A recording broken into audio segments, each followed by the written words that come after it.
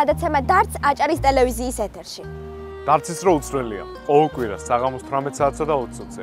როგორც უკვე დარცის მეორე სეზონში ნახეთ, ჩვენს გადაცემას ბევრი სიახლე შეემატა და ის უფრო საინტერესო გახდა. დარცი გასართობ შემეცნებითი გადაცემაა, სადაც ჩვენი თანატოლები ახალ საინტერესოებებს იგებენ და გვიზიარებენ. როგორც უკვე იცით, დარცის ახალ სეზონში ბათუმის ქუჩებზე მოგვითხრობთ. და იმაზე თუ რატომ ქვია ბათუმის ამ თუ იმ ქუჩებს გამოჩენილი ადამიანების სახელები. დანია, დღეს რომ ქუჩაზე მოუთხრობთ მაყურებელს? დღეს ჩვენი ქალაქის ბათუმის კიდევ ერთ-ერთ ცენტრალურ ქუჩაზე მოუთხრობთ, რომელიც ეგნატე ნინოშვილის სახელს ატარებს. მოგვიყვებით ქუჩაზე და თავად ეგნატე ნინოშვილზე. დაიბადა 1858 წლის 17 თებერვალს. დაამთავრა ლანჩხუთის სოფელ ყელას ორკლასიანი სასწავლებელი. სწავლობდა ოზურგეთის სასულიერო სასწავლებელში. 1878 წელს ინგლისის ბილეთით გამორიცხეს მოსწავლეთა გაფიცვის ორგანიზებისთვის. მუშაობდა მასწავლებლად ამავე სოფელში, ასოთამწყობად თბილისის სტამბაში, მოხელედ და კანცელარიაში. 1886 წელს გაემგზავრა საფრანგეთში. ერთ წელში დაბრუნდა სამშობლოში და მუშაობდა ბათუმის ნავსადგურში. შემდეგ კი შავ მუშად როჩილდის ქარხანაში. ნინაშვილი სამწეულო მოღვაწეობა სულ 7-ოდე წლით 1887-94 წლამდე გაგრძელდა. მისი თხზულებები იბეჭდებოდა ქართულ ჟურნალ-გაზეთებში: იბერია, მოამბე, თეატრი და სხვა. ცალკე წიგნად გამოიცა მისი რამდენიმე მოთხრობა: სიმონა და ქრისტინე. ძიმე ცხოვრებისგან ტანჯული მწერალი, ჭლექით დასნეულებული გარდაიცვალა 35 წლის ასაკში.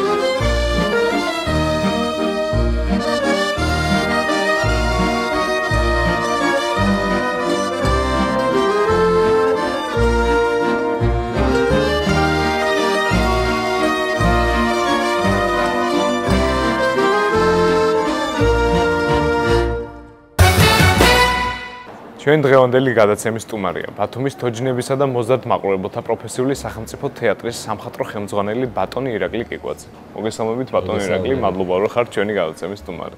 მოგესალმებით, მადლობა რომ დაგვთანხმდით ინტერვიუზე. მადლობა თქვენ რომ მომიწვიეთ. უღრესი მადლობა და მთელი გულისყურით უყურებთ თქვენს გადაცემებს და ძალიან გულშემატკივარია. მადლობა, ძალიან კარგი. სასიამოვნო მოსაცმენია და დარწმუნებული ვარ საინტერესო საუბარიც გველის.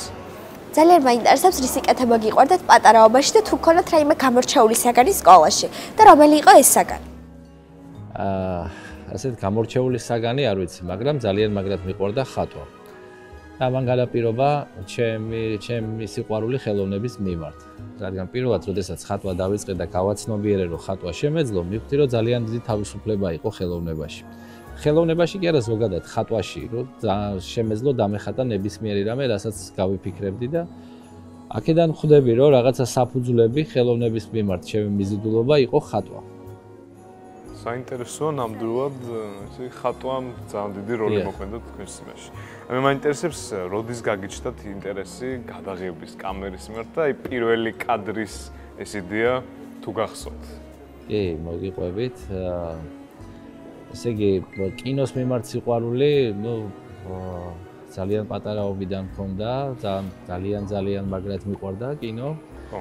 აა ესეთი გადაცემა იყო ჩემს ბავშვობაში ილუზიონი ერქვა, რომელიც გვიან გადიოდა და მაშინ აკრძალული ქონდა ბავშვებს გვიან ყურება ტელევიზორის დღეს დღეს რო არის ისე არ იყო თავისუფლება და აა მახსოვს რომ ვიპარებოდი რომ ჩემ ჩემ შობლებს ეგონა რომ მეძინა და მე ვიპარებოდი და ჩუმად ვუყურებდი და და ასე თქვა ჩამჯდარი ფილმებს ასე თქვა კუთხიდან და ასე ასე აქედან შემიყვარდა კინო ძალიან და აა ნუ პირველი შეხება კინოს იყო ის რომ მე გადავეყარე ისეთ ადამიანს ჩემს ცხოვრების გზაზე ვიც იყო ნიკო წულაძე.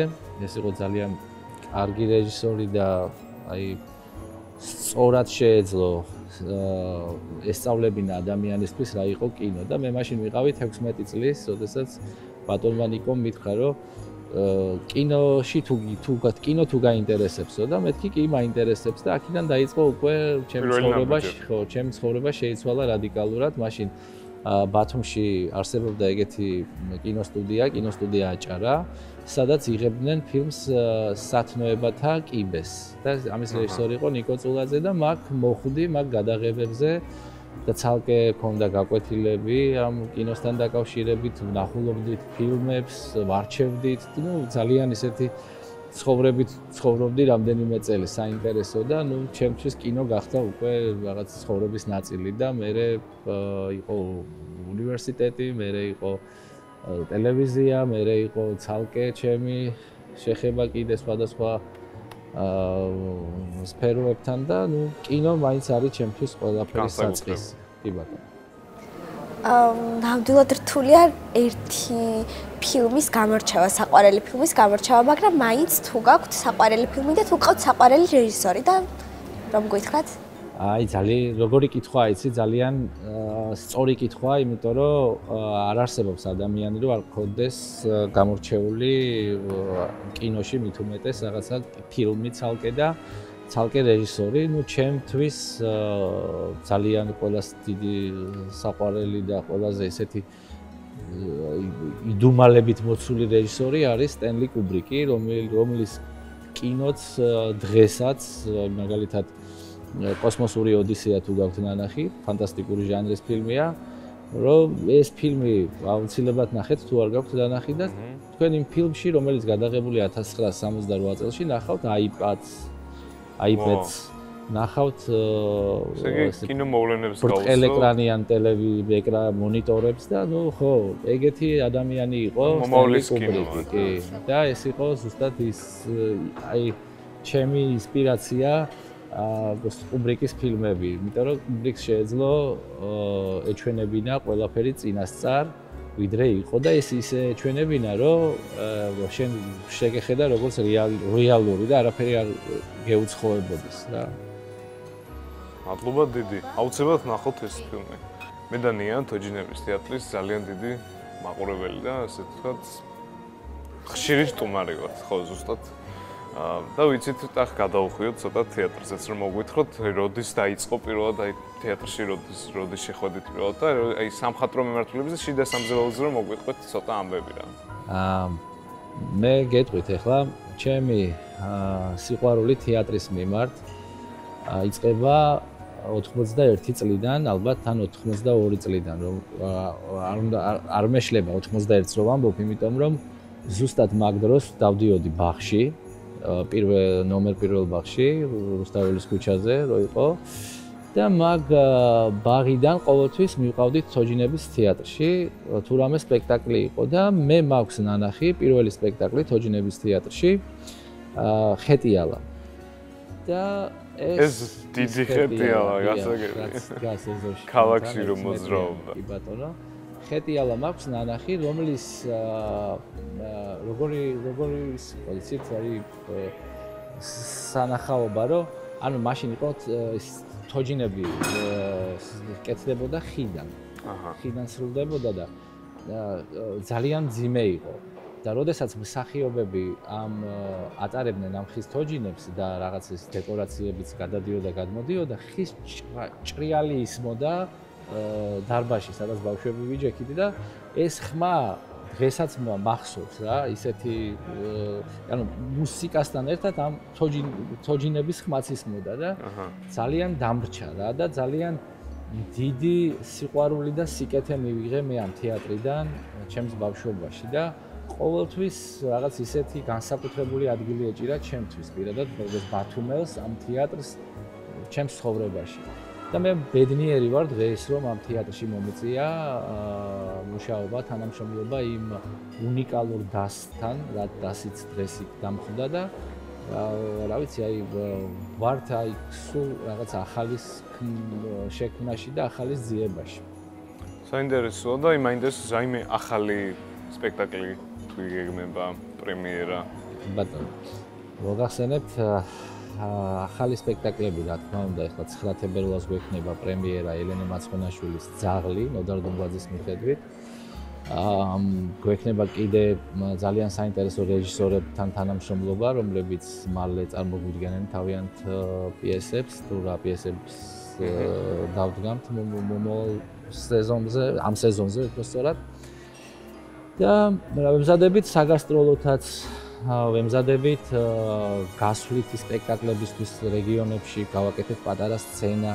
ახლა იდგმება სპექტაკლი ნაცარქექია სპეციალურად რეგიონების რეგიონებში გასასვლელად, ანუ სოფლებში მოგეხსენებათ ბავშვები ვერ ჩამოდიან სოფლებიდან თეატრში და ჩვენ ვიცი ვეცდებით რომ ჩვენი თეატრი მივიდეს აა მათ დასაფასებელი ლოკაციებზე ასე ვთქვათ და ვაჩვენოთ ჩვენი წარმოდგენები და ეს პროექტი ხორციელდება სამინისტროს ხარდაჭერით, კულტურის სამინისტროს ხარდაჭერით და ძალიან მალე ავამოქმედებთ ასე ვთქვათ.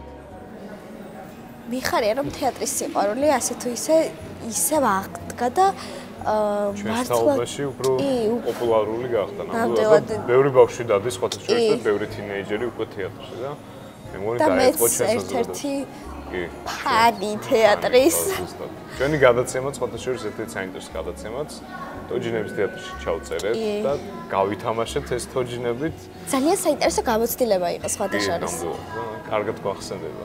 როგორც ვიცით, ბათუმის თოჯინების თეატრმა საერთაშორისო ფესტივალზე მიიღო გრან-პრი და ამაზეც რომ მოგვიყვეთ მოკლედ.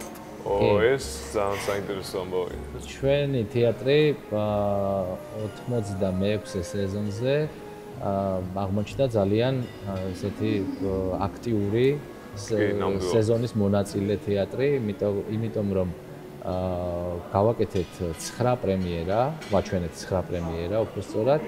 ვიყავით საფრანგეთში, ვიყავით ყაზახეთში, თბილისში საერთაშორისო ფესტივალზე და საკმაოდ ისეთი დატვირთული ის ქონდა, რა ქვია, წელი ქონდა ძალიან და საინტერესო და სეზონი ფუსტურად და მინდა ორი სიტყვით, ორი სიტყვა გითხრათ, რომ პირველი მაინც დავიწყოთ იქედან, რომ ჩვენ ვიყავით ეპიცენტრში, თოჯინების სამყაროს, ეს არის შარლევილი, სადაც წავსდებით სპექტაკლით ელენე მაცონაშვილის საიდანაც მზე მოდიოდა. პირდაპირ ამ მოედანზე, სადაც ეს სასწაულები ხდებოდა, იმ მოედანზე ჩვენ წარმოვადგინეთ ჩვენი სპექტაკლი, ძალიან საინტერესო ძალიან საინტერესო შეფასებები იყო, იყო ჩვენ თოჯინებს ეფერებოდნენ მსახიობებს ეს სტუმრები და ნუ ძალიან დიდი ემოციები მივიღეთ და დიდი გამოცდილება, რომ შესაძ ასეთ ფესტივალში ღებულობ მონაწილეობას, როგორიცაა შარლევილის თოჯინური საერთაშორისო ფესტივალი. შემდეგ იყო თბილისის საერთაშორისო ფესტივალი, სადაც არანაკლებ არანაკლები თეატრები იყო ჩამოსული, მაგრამ ეს იყო არა მარტო თოჯინური, არამედ დრამის თეატრებიც მონაწილეობდნენ და იქაც მივიღეთ მონაწილეობა, ну, შეგვაფასეს, ასე ვთქვათ, არაფერი ესეთი მნიშვნელოვანი ეს ჩვენ არ აგვიღია თბილისში, მაგრამ ესეც გამოცდილებაა, რა თქმა უნდა. და მე იყო ყაზახეთი საერთაშორისო ფესტივალი, სადაც ბევრი ქვეყანა იყო წარმოდგენილი. იქაც დავიღეთ გრან-პრი, ეს არის სპექტაკლი ჩამოვიტანეთ გრან-პრი და მილიონი ტენგე, მილიონი ტენგე არის იქაური ვალუტა, ტენგე არის იქაური ვალუტა და მე მილიონი წამოვიღეთ იქედან. აღარ აღარ გადავაანგარიშოთ რამდენია ლარებში. იმიტომ რომ მილიონი კარგი აჯერებს მაინც. კი. და ეს ეს იყო ალბათ ყველაზე მნიშვნელოვანი პრიზი, რაც რაც აუღია თეატრს ჩემი აზრით, იმიტომ რომ მოგეხსენებათ გრან-პრი არ არის რეჟისურა, გრან-პრი არ არის მარტო მსახიობი და მარტო თქვათ ვინმე კონკრეტული ადამიანი ეს არის თეატრის თეატრის ჯილდოა და ეს ჯილდო ჩვენ ავიღეთ, რითაც ძალიან ბედნიერი ვარ და სპექტაკლი იყო თუ არ მithქვამს ელენე მაცხონაშვილის წერილი ჯერალდინას ეს არის თოჯინური სპექტაკლი. მე მინდა რომ ურჩიო ჩვენს მაყურებელს რომ ნახოს აუცილებლად ეს სპექტაკლი იმიტომ რომ ეგ არის შობლის ურთიერთობა მამის და შვილის ურთიერთობა მოგესალმება ჩაპლინის აგენიოსიც იყო. და არის ძალიან კარგად მოტანილი ეს ამბავი. რასაც ქვია მამაშვილის ურთიერთობა და მე მინდა რომ ვისაც არ გინახავთ ეს სპექტაკლი აუცილებლად ნახო დიახ ალბათ თეატრის ისტორიაში როგორც ახსენეთ 86 სეზონზე მეტად დატვირთული და ასე საინტერესო სეზონი მე მგონი ჯერ არ ყოფილა და ქალაქს მე მგონი არ ახსოვს. და ერთ დავამატებ კიდე ჩვენ 86 სეზონზე, ზუსტად 86 სეზონზე ჩამოვაყალიბეთ გაერთიანებულ თოჯინების საქართველოს გაერთიანებულ თოჯინების თეატრ თეატრთან ერთად ჩვენი ფესტივალი ბათუმის საერთაშორისო თოჯინური ფესტივალი. ეს იყო სწორედ მე მგონი ხეტიან ლაპარაკს, ხო? რომელიც სადაც ჩვენ პირველი ნაბიჯი გადავდგით, რომ შეგაგვეკეთებინა ეს ფესტივალი. იყო მცდელობა ბევრჯერ საქართველოში, ეს თოჯინური ფესტივალი შემდგარიყო, მაგრამ ესეთი ასე ვთქვათ სრულყოფილი ფესტივალი იყო პირველი, რომელიც ჩვენ ჩავატარეთ შარშან სექტემბერში. ესეც აუცილებელი ერთგვარი მოტივაცია რა თქმა უნდა, რა თქმა უნდა, ეგ არის ზუსტად ის პოპულარიზაცია ამ სფეროს, რასაც თოჯინების ხელოვნ თოჯინური ხელოვნება ქვია და ეს არის ის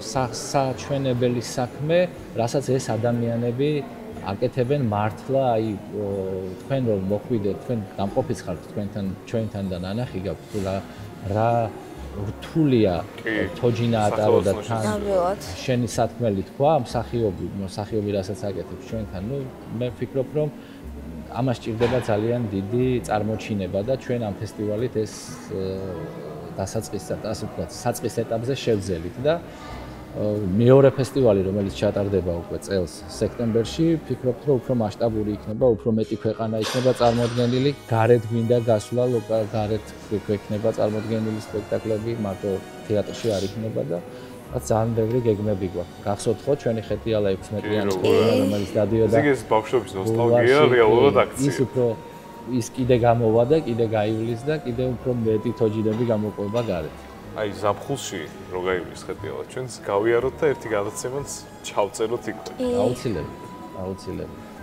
ძალიან კარგი. აი მე მაინტერესებს ჩვენს თაობას და ჩვენს გადაცემას ერთად რას ვრჩევდით და რა რჩევას მოგცემთ.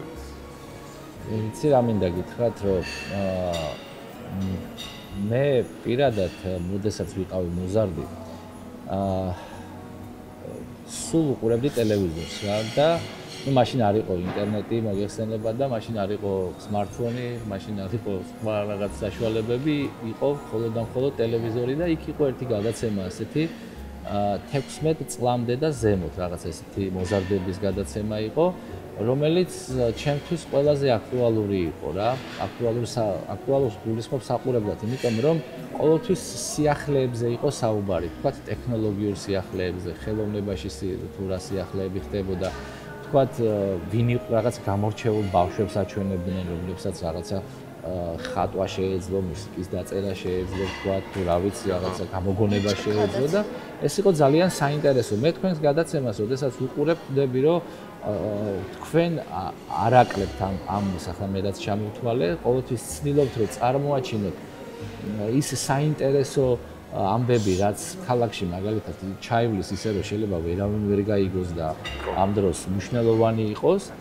და ფიქრობ რომ მამაში თქვენ ძალიან დიდი წვლილი გაქვთ ამ ამ ასეთი მიმართულებით რომ ხორციელდება თქვა ინფორმაციის მიტანა მოზარდებამდე. და მოზარდები არიან ჩემთვის ყველაზე საინტერესო ასე ვთქვათ დავარქვათ რა იცი აი ასაკის მქონე ადამიანი რომელიც რატო იცი მე მე თვითონ ყავს მოზარდი შვილი და მე ვიცი და მყავდა კიდევ უფრო სწორად იმიტომ რომ ეს უკვე გამოზარდი არ არის მაგრამ გავლილი ჩემს ხედავდი ანუ მე მე როდესაც მოზარდი ვიყავი ანუ ისე ვერ ვაფიქსირებდი როგორც გვერდიდან უყურებ ახლა მოზარდებს ხო? და შვილები შვილებს შვილებიდან უფრო მეტ ინფორმაციას ღებულობ რა თქმა უნდა. და ხვდები რომ მოზარდები არის ის ასაკი როდესაც როდესაც პრეტენზიული ხარ ყველაფერთან და ყველაფერზე და ბევრი რამე არ მოგწონს და პროტესტი გაქვს და აი ხვდები ამას რომ ამას თუ რატო რატო ხდება ეს იმას ხვდები დაახლოებით რასთან არის ეს დაკავშირებული და ამ ამ დროს არის საჭირო სწორად მისცე ინფორმაცია და სწორად მიცე, თქვა, კი არა, აღზარდო ისი, უბრალოდ აღზრდის კუთხით კი არა, ამბობ, მიაწოდო სწორად ინფორმაცია, თქვა, რაც წიგნში წერია და არ კითხულობს, თქვა, რაც ფილმებშია და არ უყურებს. აი, მიუტა მისთვის მისთვის ხო, მისთვის ხელსაყრელი, ასე ვთქვა, მეთოდებით, მაგალითად, შეხვიდე იმ იმ პლატფორმებზე, თქვა, პლატფორმებიდან ის სარგებლობს და რაღაც აი ამ მიმართულებით მუშაობა ფიქრობ არის მნიშვნელოვანი ყველა ყველასთვის ვინც ვისაც ვინც ფიქრობს მომავალზე. ბატონმა ირაგლიმაც ახსენა გამოიწერეთ ჩვენი პლატფორმები Facebook-ი, Instagram-ი და TikTok-ი. რათა სიახლეები არ გამოტოვოთ, როგორც ასეთი შეფასება მე მგონი ჩვენი დასწორებში არ მოგვისმენია და ძალიან ნასიამონები ვარ მე პირადად. ამდენად ეგ უნდა მეთქვა, რა კარგი მოსესმენია, როდესაც ასე არ უნდა შევწყვიტოთ იმის კეთება, რაც თურმე გამოგვდის ბატონა ირაკლი რაც თქვა. წარმატებებს გისურვებ. კიდევ ერთხელ ძალიან დიდი მადლობა რომ დაგვითვეთ დრო. მადლობა დიდი. დაუბრუნდით ჩვენ სტუდიაში ჩვენს დარწელებთან ერთად. მოგესალმებით ბავშვებო, მადლობა რომ ხართ ჩვენი გადაცემის სტუმრები. გამარჯობა. ჩვენ ახლა აგიხსნით წესებს. სანამ წესებს აუხსნით, მოდი ხო, სახელები გეთქვით. მოითათვირეთ ერთად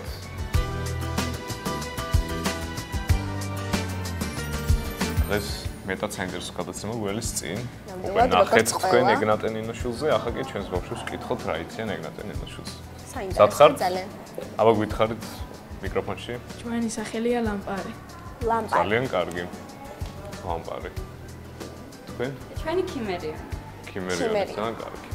ახლა აგიხსნით წესებს. თქვენ უნდა გამოხვიდეთ დარცის დაფასთან და დარცის მიმართულებით უნდა ისროლოთ ისრები. რომელ რიცხვსაც მოხდება დარცის ისარი, იმის შესაბამის კითხვას დაგისვამთ. გასაგებია? მაშინ დავიწყოთ. მოდი პირველი იყოს ლამპარის ერთ-ერთი წევრი. ეს არის მეორე. ნახოთ მეორე კითხვა რომელია. დაუბრუნდი გუნდს. ყურადღება დაასრულეთ ეგნატე ნინოშვილის ფრაზა. ასია, ერთისთვის ხერხი მიუწია ღმერთს. გააგრძელეთ ფრაზა. მოიფიქრეთ გუნდთან ერთად თუ ვარიანტი არ გაქვთ.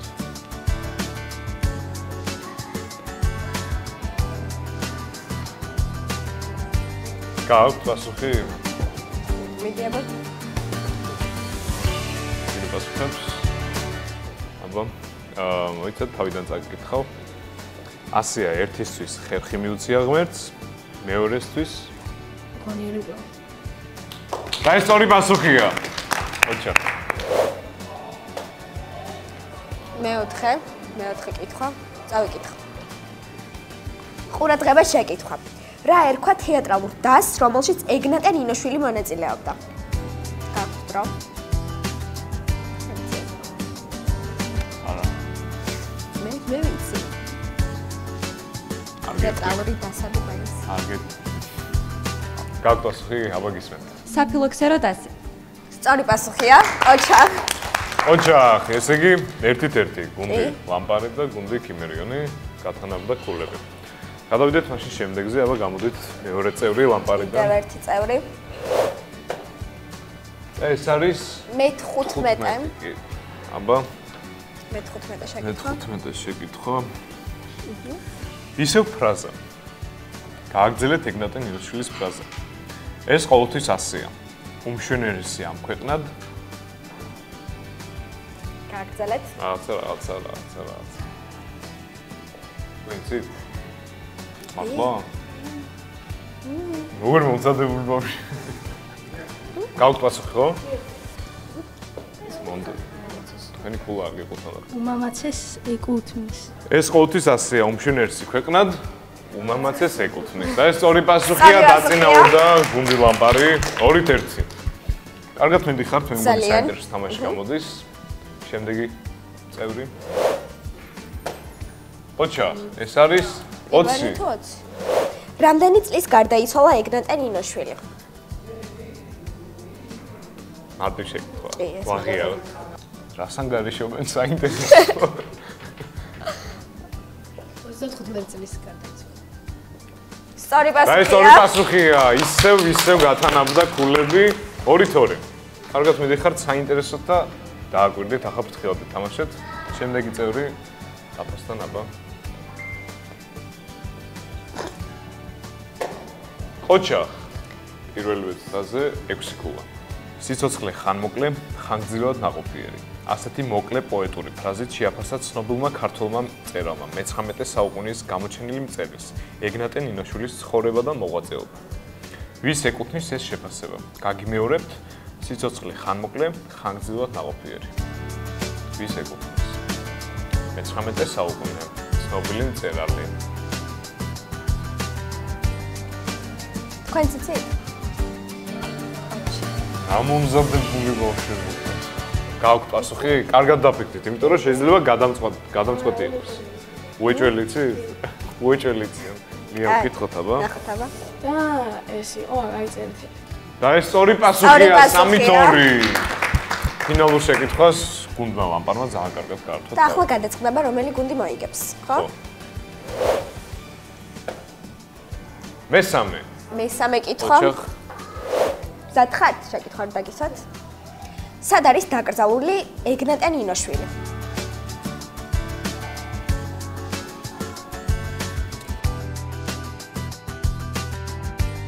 ამოიწურა თქვენი დრო, აბა.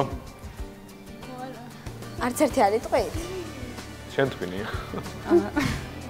აა, გურიაში იყო დაკრძალული ვიცით, მაგრამ სამწუხაროდ საფრთხელი კონკრეტულად არ გვაქვს. არა უშავს, ეს არის ჩანჩეთის სასაფლაო, ჩანჩეთის სოფელ ჩანჩეთში, რომელიც არის ლანჩხუთის მუნიციპალიტეტი, მისი მშობლიური მხარე. არა უშავს. არა უშავს. მაგრამ ძალიან კარგად. საინტერესო თამაში გამოვიდა და აპლოდისმენტები ორივე გუნდს. 3-2 გუნდი ლამპარის სასაგებლოდ. გილოცავთ მეგობრებო გამარჯვებას. საკმაოდ საინტერესო თამაში გამოვიდა. როგორც ყველა ყველა თამაშის ბოლოს ვამბობ თამას და კი. ახლა კი ტრადიციულად მომავალ შეხვედრამდე და მომავალ თამაშამდე. აბლო.